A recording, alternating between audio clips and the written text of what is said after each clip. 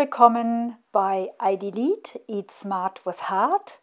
Heute möchte ich äh, Ihnen oder euch etwas sehr Einfaches vorstellen und zwar Löwenzahn. Löwenzahn kennt ihr alle. Es ist auch so, dass wir zum Beispiel in der Fastentherapie sehr gerne, also im Aufbau nach dem Fasten, aber auch überhaupt, um regelmäßig den Körper zu entgiften, Bitterstoffe verwenden. Und der Löwenzahn ist ein ganz wunderbarer Lieferant für diese Bitterstoffe. Wie ihr seht, solltet ihr keine Wildnis zu Hause haben, lässt er sich auch kultivieren. Ich habe hier einen Topf genommen, habe den einfach abgestochen mit der ganzen Wurzel. Und dieser Löwenzahn lebt jetzt schon zwei Jahre mit mir. Man muss natürlich äh, unbedingt gießen. Also er mag keine Einmal natürlich keine Staunässe, aber er mag auch nicht zu wenig Wasser. Ansonsten eine so robuste Pflanze, eine richtige Heldenpflanze, weil ihr sie bestimmt schon mal im Asphalt rauswachsen habt sehen oder in irgendwelchen kleinen Lücken. Es fasziniert mich immer wieder, wo diese Pflanze überall rauskommt. Und von heute an habt ihr eine fantastische Beigabe zu allem, was ihr esst. Ihr könnt es auf warme Gerichte einfach klein geschnitten drauf machen. Ihr könnt es in Salate, in äh, sogenannte Buddha Bowls, seht ihr dann gleich noch äh, in, im Bild äh, reingeben.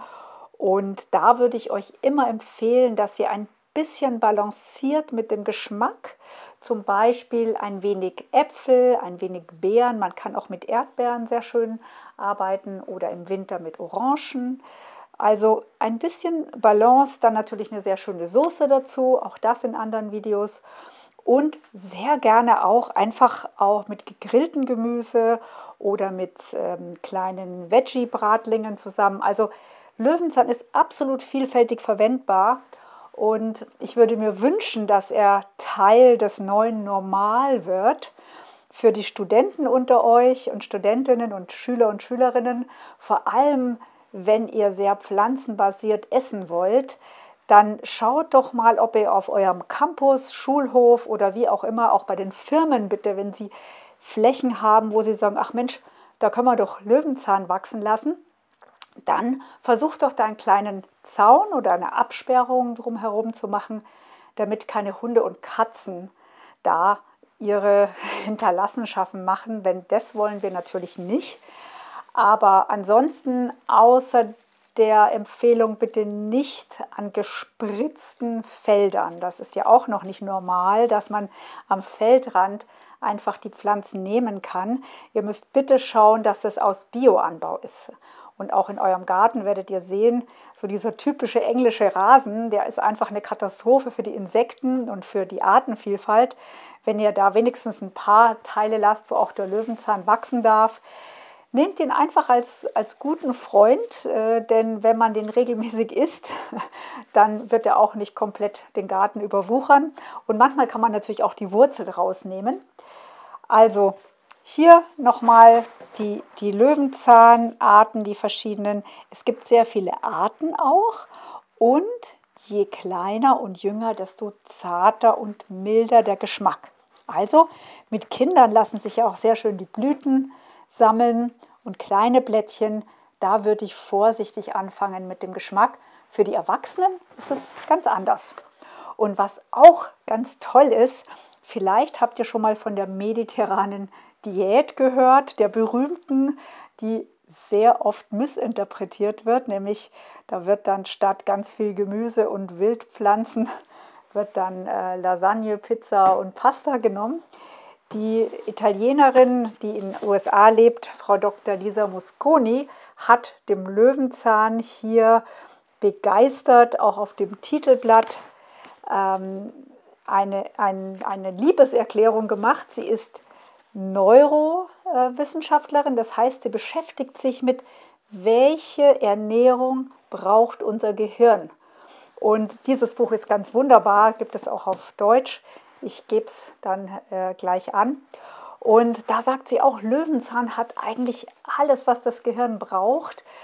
Und es hat gleichzeitig äh, eine sehr gute Mischung, um die guten Darmbakterien zu fördern. Also von jetzt an diese Pflanze als Heldenpflanze und als kostenlosen Helfer für euch sehen. Und schon kostet gesunde Ernährung wieder ganz wenig, vor allem wenn ihr es kombiniert, zum Beispiel sehr schön auch mit einer heimischen Pflanzen mit Walnüssen oder Sonnenblumenkernen oder anderen Ölsaaten würde ich auf jeden Fall auch machen. Auch hier besser frisch, weil manchmal sind die geschälten Walnüsse behandelt, aber das in einem anderen Video.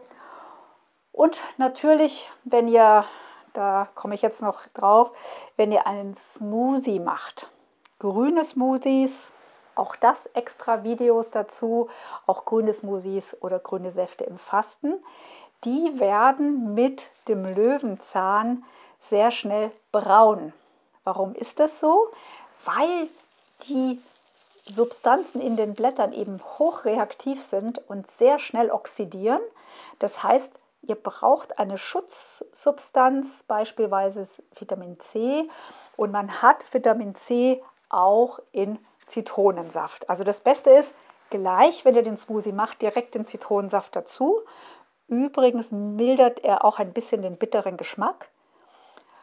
Der Geschmack ist dann nicht so stark, aber trotzdem sind die Bitterstoffe drin. Das ist der Unterschied zum Auslaugen. Ja, manche laugen den Löwenzahn ja so lange aus, bis er nicht mehr bitter ist. Das kann man machen, dann ist er immer noch gesund, aber man verliert einen Teil der Wirkung.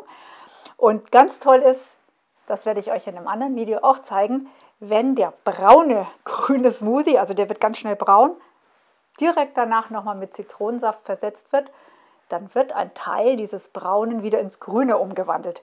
Ganz schön auch mit Kindern so ein kleines Experiment zu machen und wieder ein Zeichen dafür, wie unwahrscheinlich lebendig diese Pflanze ist. Wenn ihr sagt, Mai, ich denke doch nicht jeden Tag dran, Löwenzahn zu pflücken, ich würde es auch nicht jeden Tag empfehlen, vielleicht dreimal in der Woche, dann kann ich euch äh, auch sehr empfehlen, diese Gläser. Ihr wisst, äh, dass ich diese sehr empfehle. Die gibt es in verschiedenen Größen, weil da kann man die Löwenzahnblätter einfach, wenn man sie geerntet hat, rein und ein bisschen Wasser, Deckel drauf, in den Kühlschrank. Das wird sich sehr gut halten. Und wenn man aber sagt, ja, nee, ich will sie jetzt gleich essen, dann waschen. Also bitte die Sachen immer erst vor dem Essen waschen, sonst klebt es zusammen oder fängt an zu schimmeln. Und natürlich, wenn man den Löwenzahn aufheben will, bitte eher trocken ernten, nicht zu nass. Ein ganz kleiner Trick auch für, ehrlich gesagt, auch für Salat oder egal welche Pflanzen man hat mit so einer großen Oberfläche, ganz besonders auch Wildkräuter. Ihr gebt in das Wasser ein wenig Zitronensaft, ja, das wäre die eine Sache, oder Essig, Schuss Essig. Das ist auch dazu da, wenn da noch winzige Tierchen drauf sind, dass die dann weggehen, die mögen das nicht. Oder, oder auch als Kombination, ähm, Natron. Einfach ein bisschen Natronpulver hier reingeben. Das ist ja nicht giftig, im Gegenteil, manche nehmen ja Natron sogar extra ein. Und dieses Natron reinigt dann auch nochmal besser die Blätter.